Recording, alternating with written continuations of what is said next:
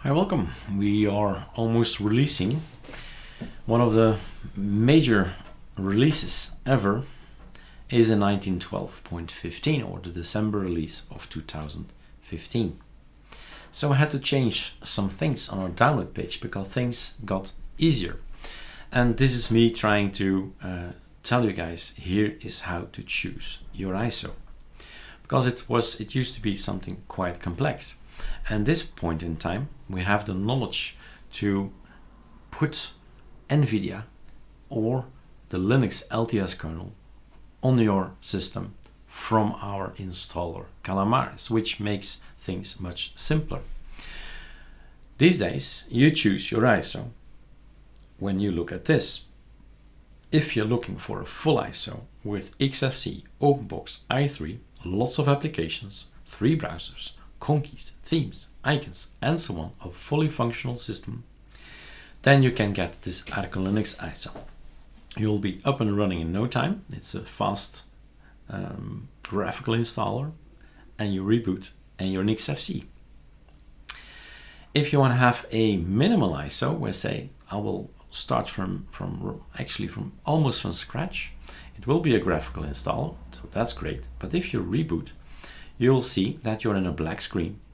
You have no applications, no conkys, there's no LightDM, there's no desktop of any kind, XFCE, OpenBox, i3, nothing. You install our installation scripts, you learn from the installation scripts, maybe prepare your way that way to the Arch Linux phase 5, right? Learn to work with TTYs. And it will take several hours before you have a fully working system, but it will be still Arch Linux. Then you get ArcoLinuxD ISO. Now, if you're looking for um, an ISO that just contains one desktop, then maybe ArcoLinuxB is something for you.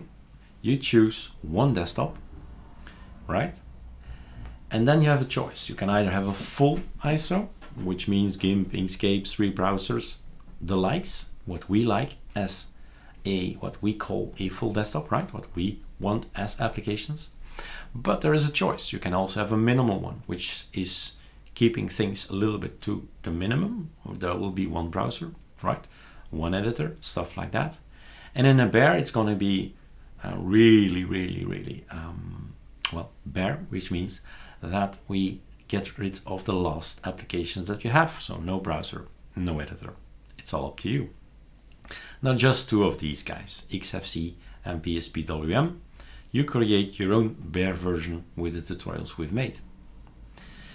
So you have to choose one desktop. We have 15 desktops to choose from and you decide I'm going to take a full one, which actually doesn't have a name at all. So if we quickly have a look at um, this page, then I'll show you. We go to download ISOs. Uh, we were already there. And I'm to go to all the way down to this one, right? And if we go, well, we can actually stay here. So in a few days, this 19.11.3 will have a nice folder. It will be there and it will have the 1912 version.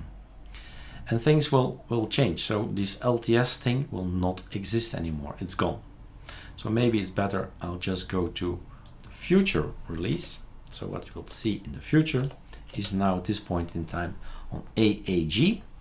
AAG is a phase in our timing when after Arch core members tested it, after beta testers have tested it, the world can test it. So this is still at this point in time there. And then, so here you see this awesome, which is the full one. If it doesn't say anything, is the full one. That's the minimal one. And here's the bare one. And that's it. As simple as that. You have a desktop to choose, full one, minimal one, full one, and minimal one. And XFCE as a bare one. There is just one special kind of thing, which is a, again a project that we've launched. And if you are looking for tiling window managers, the experience of uh, learning about all that, then we have here this uh, ArcoLinuxB extended ISO, which means the open box is there just as a kind of backup. If you say, okay, tiling window manager, I'm not getting uh, the scripts are not not working or you've, you've crashed it and, and it's a learning phase right? It's okay. You can make it crash. It's all right. But then you can go back to openbox and that will work. So this is a special project that we've launched at some point in time and it's a part of uh, well well we want to promote tiling window manager basically and that's why it's there to give you uh, a go to let you give let let you give you the experience give you the experience to try out these tiling window managers on your own.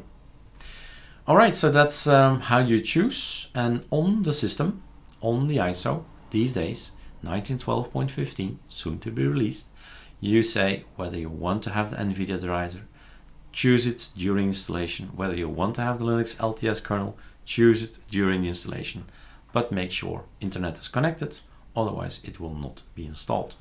And that's it basically. That's your decision making that you have to uh, do these days. All right. Cheers